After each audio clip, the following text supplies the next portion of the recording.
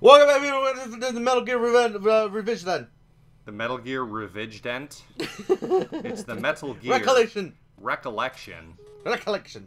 So last time we got pretty fucked up. I mean, if you look at the guy now, his eye is permanently closed forever, almost like guts from Berserk. And uh, this guy's been throwing us food, which we're throwing out to him. Um, it takes a little while, but I'm going to trigger a funny little cutscene that involves this person.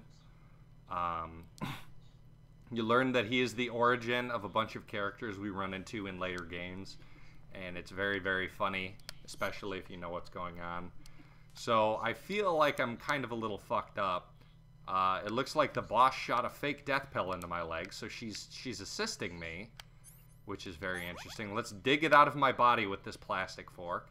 And there's that transmitter that uh, Ocelot jammed into my back. Let's get rid of that as well. And uh, our friend Gregory is still with us, joined by Yes. a pee and blood stain. Yes. You can actually see the P, can't you? No, No. uh, we don't have any food or anything like that.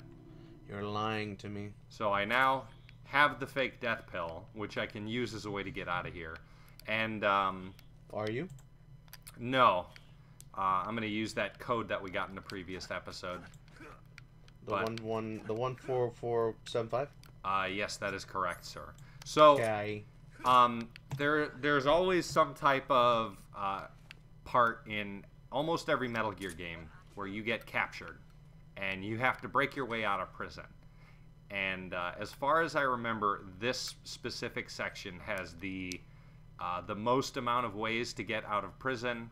You can use that number that that ghost showed you in order to call and just buzz open the door. Um, oh, he threw me some food. Yay, how nice. He threw me a frog. Uh, you can use the buzzer. You can fake your own death, which will make this guy open the door to run in here. Um, you could try and hide, which will make him run in here to look. Uh, and in this case, and what I'm about to show you, is you can befriend the motherfucker. And there's a great, there's a great little cutscene that'll actually add a lot of flavor to the rest of the game. Um, Really? yeah. Hmm. Well, not to the the rest of this game specifically, but to the rest of the Metal Gear universe. So let's uh let's just take a load off. Let's take a nap. In fact, let's call my boss and say, "Hey, you know how I've been a fuck up the entire time we've been doing this? So uh yeah. You're all right. I wouldn't say I wouldn't say all right. I have multiple concussions, bullet wounds I can't close up. I had to jam a fork into the small of my back to pull a transmitter out of there. Why would they leave him his radio and his medical items? Yeah. I just said that. I mean, they ju- I yeah, I know, mentioned I that know. earlier. They just kind of talked about. Snake's pissed off. They just kind of talked about it. Must be away. Um, Use your head. but yeah, if you keep calling these guys, they'll keep giving you. Oops. Oh yeah, the boss did give you a gun. I forgot about that, and I probably. Can't you hold up the guy uh, um, coming into the cell? Probably later, um, but I've never tried it and I've never had it work. Um, but this this codec conversation right here is slightly uh, important. I was tied up and it happened so fast. It was I like how Snake's apologizing. Typical Japanese guy. I'm sorry I heroically saved your life. What about me? Did you only save me Bitch. Ungrateful. And here here's one of those rare characterization moments where it's clear that maybe she maybe she is into Cares Snake a for him? little bit more than her. Yeah, a little bit more than her her spy mission. that's Uh, uh, may lead you to believe, basically. Uh, uh. So let's take a nap. I hope you guys enjoy the uh, napping portion of the Let's Play. How you- Welcome back to uh, napping simulator. Welcome back to Smooth Voice with One-Eyed Solid Snake, bringing you the solidest tunes on this KLMNO P69 radio. Elemental P. I don't fucking know. Here with us today is uh, Gregory, uh, the Nobel Prize winning uh, poison tipped crossbow that's been embedded in my leg for about the past week. And, You can see him on uh, your underarm. We're going to a commercial. We'll be right back. Bitches. He threw a fish to me. It's a fish now. So here's where we where we actually start befriending the guy because we're basically feeding him. It's great. I think I think three does it. Does three do it? What? I don't remember. I think three does it. I Spinning. think three does the cutscene. Yeah, here we go. Hey. So now let's learn about this uh, this lowly poor Russian soldier whose only job in life is to guard this cell.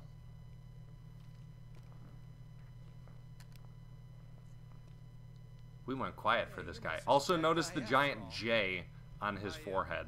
There's a very important reason for that. There's a very important reason for that, which we'll get into later on. Uh, let's just say that his name is I used to Johnny. live in America. Uh, he's a very special man. had a- a wife and a Uh, sometimes he has problems with digestion. Must be pretty lonely. Yeah. And now he's gonna let Snake bang him through the bars. Really lonely. It's your kid's name. See, so this is like a, there. There's Johnny.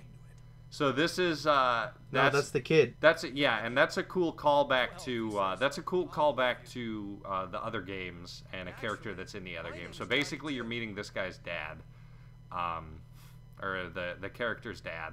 Here we go. We've got more pictures and stuff like that.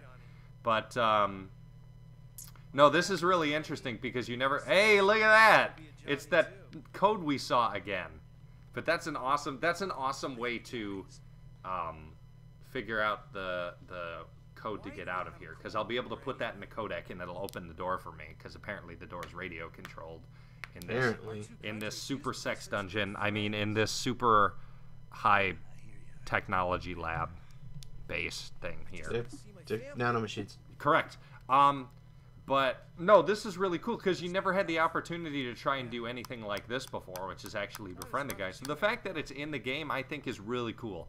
I think it's a really cool little Easter egg. Hell yeah. Here, And look, he gave me some. Uh, from your equipment. He's giving me my knockout spray, which they don't know it's knockout spray. They're literally like, he's like, here, have some cigarettes, dude. The least I can do. Which is super cool because you wouldn't have that otherwise. So you'd be trying to break out of here with a fork. So technically, he tried to steal his cigarettes. Yeah. Don't suppose you could let me out of here. I can't do that. oh, this is this is such a funny. Like now he's like, oh man, you're being an asshole. Escape. I'll have to shoot It's you. like, don't do that. I want you to be my friend. I know you're gonna get killed either way, but I don't want to shoot you. I gotta go. Poor guy. Damn. Is there a fan going in your room? I feel like I can hear a fan going in your room. No, there's no fan going in my room. Uh, it must just be reverb or something.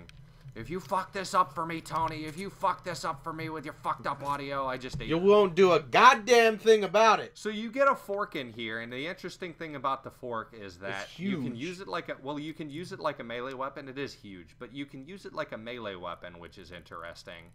But um, it also allows you to uh, eat things instantly. So if you like stab and if you stab like a like a Rat. yeah, like a rat with it, um, it will. Uh, where's this guy? There he is. Oh shit, he's gonna shoot at me.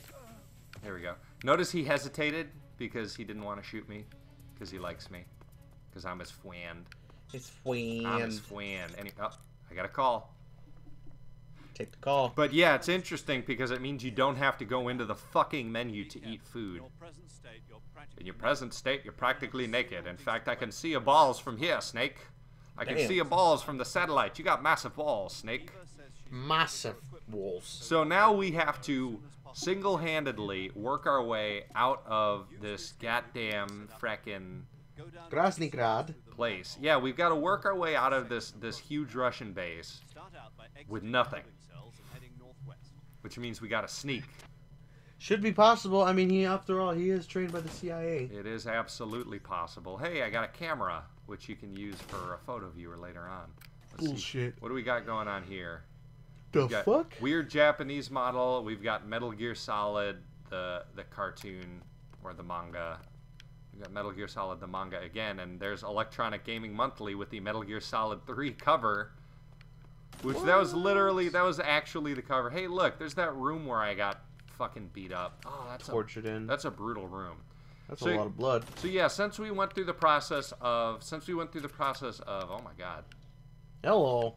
Hi, you look like Jessica Nigri, but your name is Tamika Laurel Rousen. Go fuck yourself. Ha ha ha ha.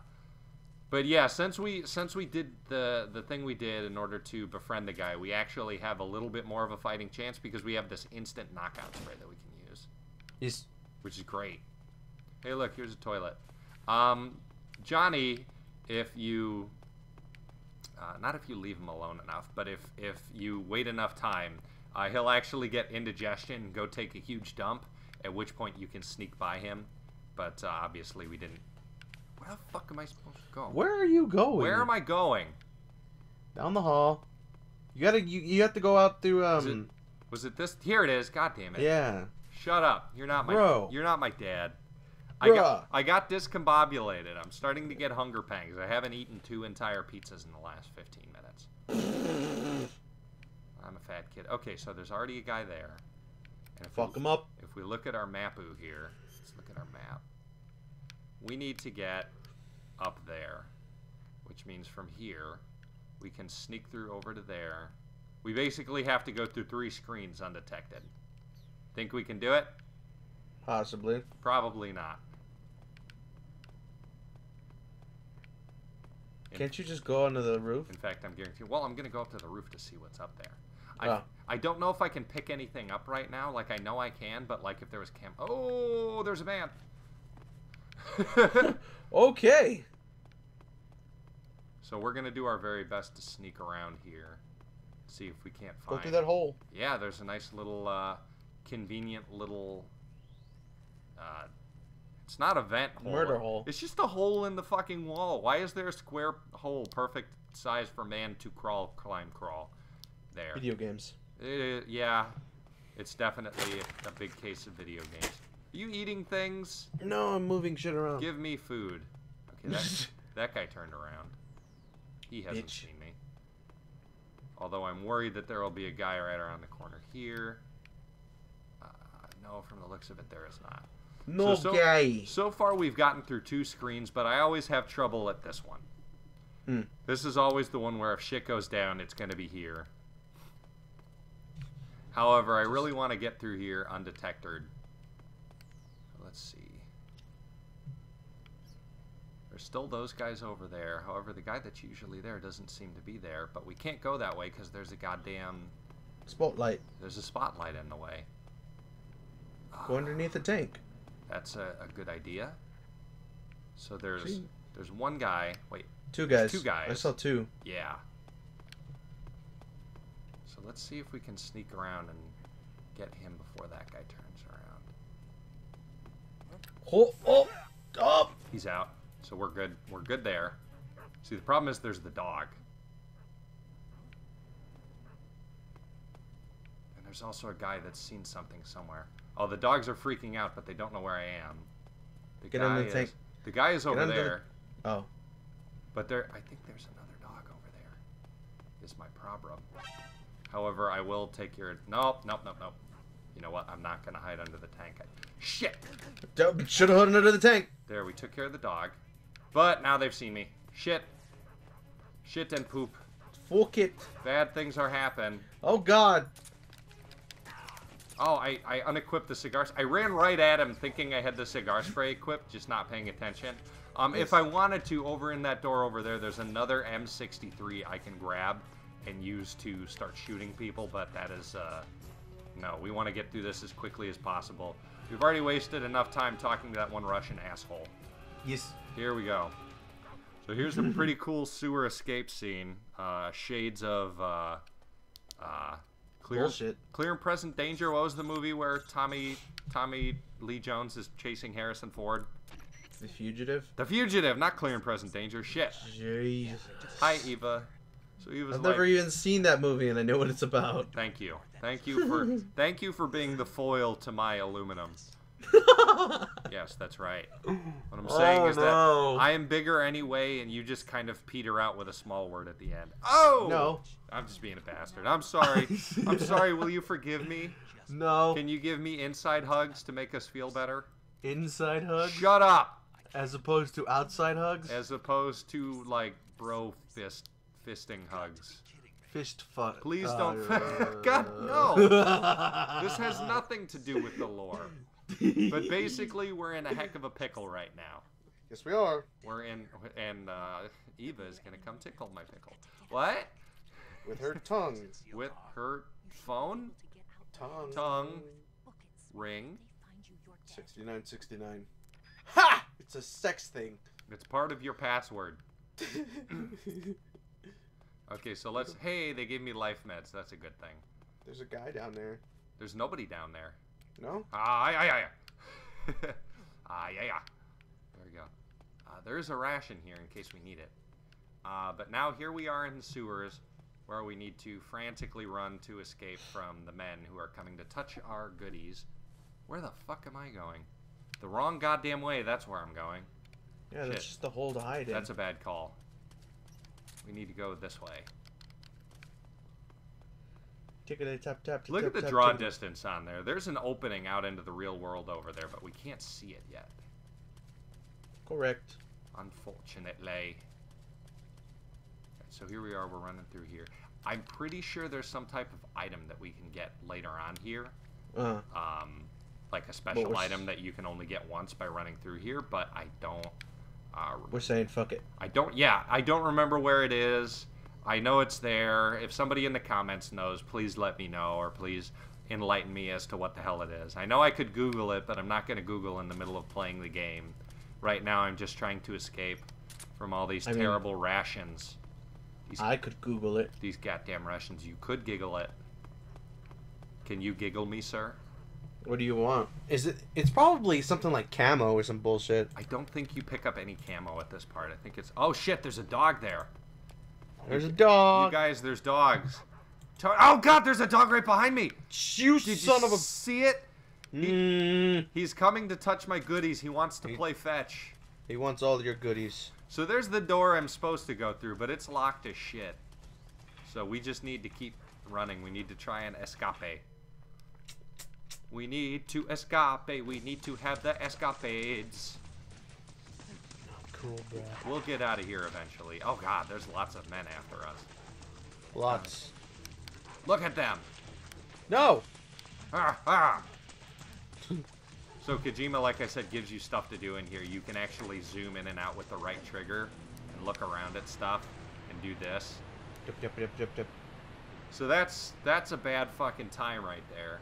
That's a high fucking jump. But- it's either get get captured or jump. Well, at this point, it's like he's probably looking over that like that's about as high as the bridge the boss threw me off. well, that's a neat little detail. They took his knife out of his sheath and is like, what do you mean? Oh, on him? Yeah, yeah, yeah. yeah. Here's Ocelot coming to gloat again.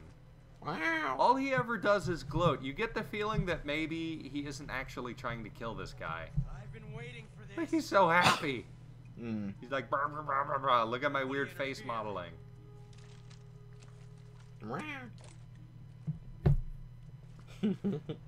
Goddamn double action bullshit. Eh, it's fine.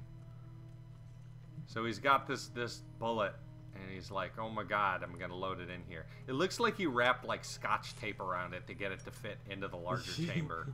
Since he went from a 9 millimeter Makarov to a 45 caliber, you know, revolver. We have Uh oh. Uh oh. What are you gonna do, Snake? What's your plan? Yep, bruh. Apparently, your plan is to just say fuck it. I mean, it's kind of one of those damned if you do, damned if you don't situations, as he actively tries to fire his empty chambers into the man. That's a hell of a backward swan dive. He could win Olympic gold with that. Yes. Except Except what for what team would he play for uh, Americans, at this point? but he'd get a zero Ah, from he the Russian one judges. shot left. One shot left because he only put one shot in. A ridiculously lucky Snake is. Well, I mean, it was the next shot, so that- had he pulled the trigger one more time, he'd have been good. That's what I meant. Don't die on me yet. I need you to for my nefarious plot. Nefarious purple As he slowly drowns to death. And here we here we come up. We're coming up on an extremely cool uh, sequence here, and I don't want to call it a boss fight, even though it's technically a boss fight. Yeah, I was just about to say that. It's like technically it's not a boss fight. Correct. But here we are in this weird fucked hellscape, this mangrove forest that's on fire. Which feels Must- like which feels like a crazy fever dream, doesn't it? Uh, I think this is a near-death experience. Yeah, this is a pretty near-death experience, which is explained by the fact that he runs into a uh, a peculiar gentleman here by the name of Doctor Who. Um, Or the sorrow. he comes along to tell him that he's retarded or TARDIS or however they call it in that damn show. I don't know. I don't watch it either. Yeah. Piss off somebody. No, we Yep. run into a ghost by the name of the Sorrow, who is also a member of the Cobras unit. Was. Was. Until he was fucking brutalized and murdered by someone. Which Fuck. Are you falling? Are you like falling downstairs live on stream?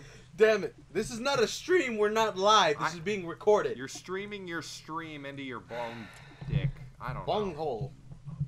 So this is a really really cool character, and he, he, he, you see him in this game, and you see him at the very end of the entire series. It's important. It is. Cool fucking character, Yeah. All of a sudden, his fucking coat is gone.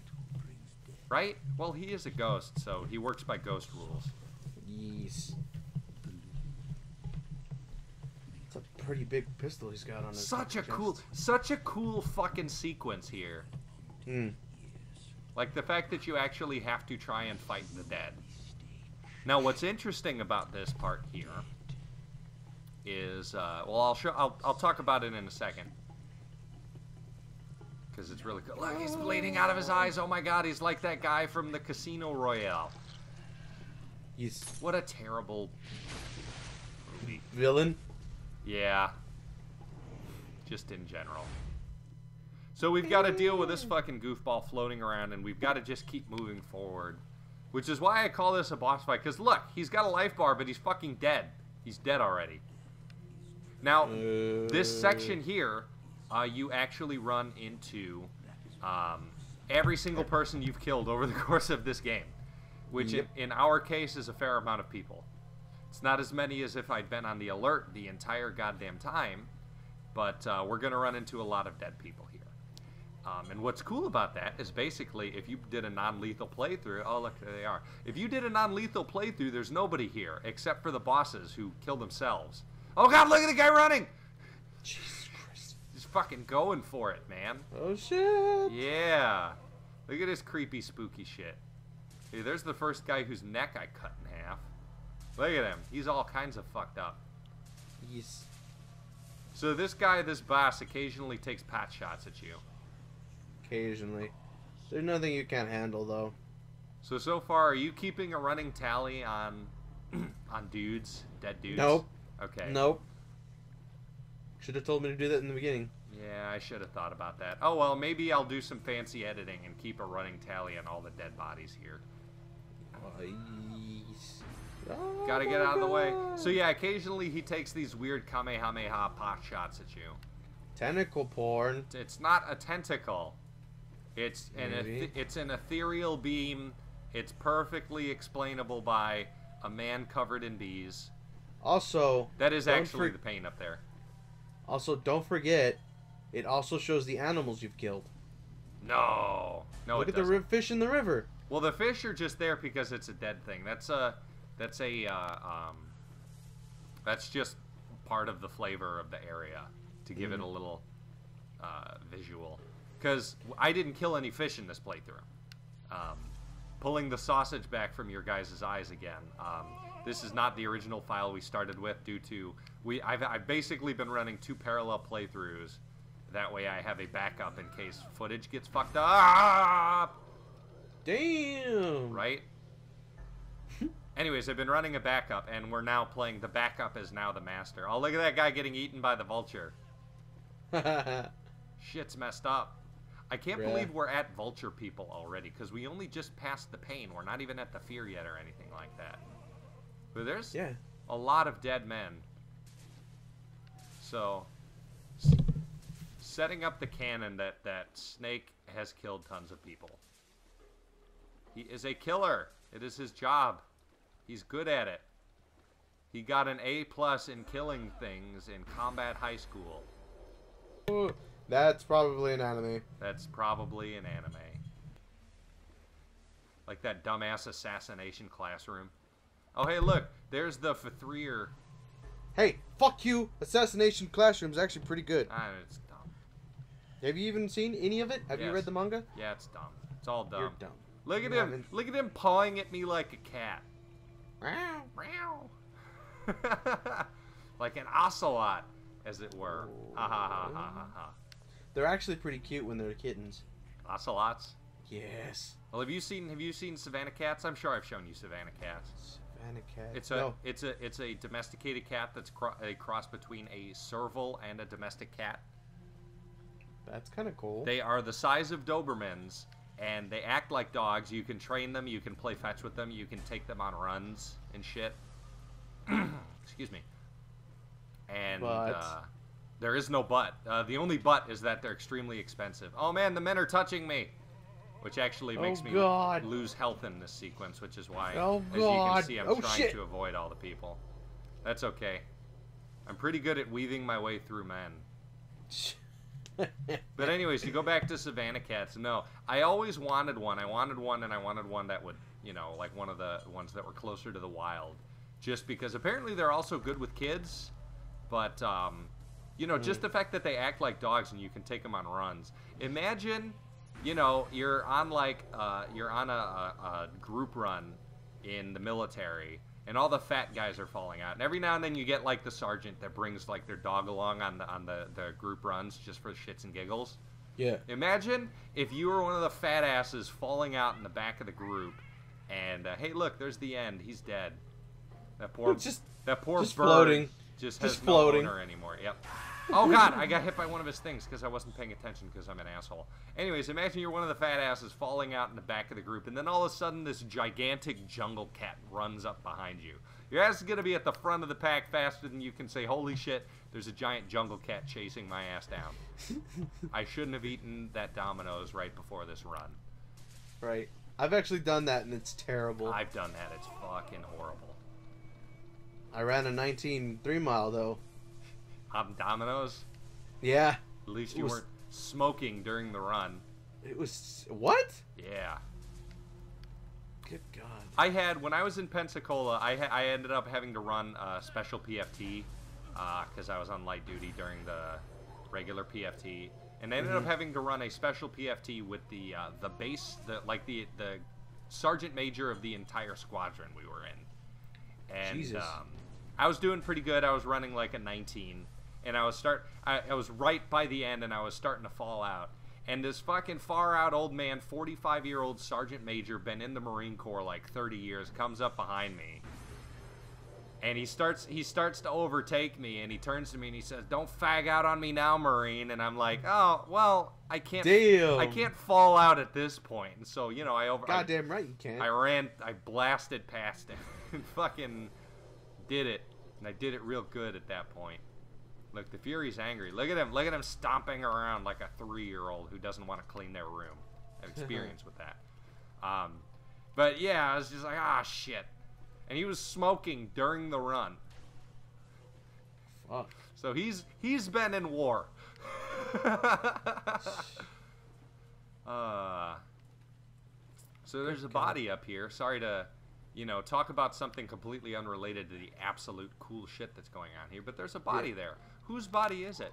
Oh, it's the Sorrow's body, and now we're dead. We're dead Damn. forever. That's canonically the end of it. LP over. So if you hit continue here, you die.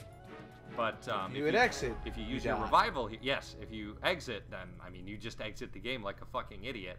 But if you hit revival here, your revival pill, it brings you back to life, and you get to continue on as Snake. Yes. I'm a Snake dead ass. And then you get Ha! you get an an explanation about who the sorrow is and what the fuck's going on. And you actually here's a little backstory here where the sorrow is talking to the boss, um, which actually goes into the boss's philosophy or the boss's philosophy as a soldier, and the boss's beliefs here. because basically she had this super tight knit unit. This guy is the father of her kid, and as part of a mission, uh, she has to go into Russia and kill this guy. And so she proved her loyalty to her country by it in the process of doing it. But um, I would assume you'd be slightly pissed off after that. But uh, does she does she manifest that in any way? Well, she defected, so maybe that has something to do with it. But um, So why did she have to kill him? um, I think they're gonna explain it in a codec call here shortly. I think I thinky thinky thinky doo. Dinky thonky thonky. But dinky doddly dinky donkey doo. I don't know what the fuck the I'm saying. The fuck are we saying? I thoroughly apologize for my inability to construct a coherent thought at this point in the LP. I'm really sorry. Let's play You're uh, canceled. Why why is he still wearing suspenders? They took his shirt off but left the suspenders on him. and his headset radio thing And his little and headset bandana. radio thing and his choker with the little weird vibration sensor thing on there. And they left him his pants and all his holsters and his dumbass bandana. Oh god, did you see that? Yep. I've never noticed that before. Really? Yeah. Huh. I've never actually looked up and seen the sorrow. I've always been distracted with my super ADHD and tried to follow the butterfly. oh, butterfly. Uh. So there was the pain, the fear, the fear, Yep. the end, the fury, the sorrow. You Got one left. The pain, the fear, the end, the fury, the sorrow, and the boss. You mean the joy? The joy, you're right. The joy. She's always very happy to be in the butthole. Battle. Battle. I can't make words make good. An ESP. Very cool. Pseudoscience bullshit. Very cool. If you thought about this from a gameplay perspective, it's very interesting that the boss fight takes place with him as a ghost. Because I have a feeling that he would be a pushover while he was alive. Because it's like, how do you work ghosts into, you know, like gameplay during a living thing? You can't really without going full paranormal. Right. So this kind of pseudo pseudo paranormal—did it happen, didn't it happen, is a very cool way to approach this character. So from a story standpoint, the fact that he's dead really informs the gameplay, which I love about a lot of these, uh, a lot of the Metal Gear Solid games, is that the, Oh. the story goes along with the gameplay. Isn't that cool? Yeah, but I just thought of something else. What's that? Since the boss killed the sorrow Mm-hmm. at the cliffs, you think his body fell into the river that you were just at? Well, we ran one- into his body. He's dead here. He's Yeah. he's within like like I almost want to once we get back to gameplay go to where I think I saw the the, the ghost and see if I can't find a skeleton. But his body's here. We're right next to where his dead body is. Okay. I don't Because- think I don't think you can find him, but his body we are right next to where his body is in the world. Snake. Very well. Yeah. It's a very cool very cool little gameplay section. You don't see a lot of stuff like that in video games. I mean, I and I don't mean that specifically, but a, a little like play on you know a boss fight or something like that. the devil doesn't pay much rent. The devil is a bad dude, throwing up Throwing the up the horns horns for himself. God, I haven't I haven't seen that shit in such a long time. No, that's the only reason I, that that that popped up in my head because uh, isn't it that one one uh, it evolved of axe? Someone threw it into a, a hole or cavern or something, Yes, and then they found it in a different game. yes, Behind that wall Okay. yes. It's very funny. we'll meet in I'll talk about it later. It's a two best friends play joke. Two best friends play great let's play channel. They go by the Switcher on the on the channel. Uh, very cool. Check them out if you've never seen them before. They do full LPs like this, except they are funnier and more Canadian than me in every way. Um, so we were here and we were looking over there. Over there? We were looking somewhere around here and we saw it. So really quick before we end the video, let's look and see if we can't find the actual body of the sorrow. Like I said, I don't think we'll be able to. I don't think it's an actually uh, an, an actual item in the game. We did find it floating there. Uh, no, unless it's up there, it doesn't look like it's here.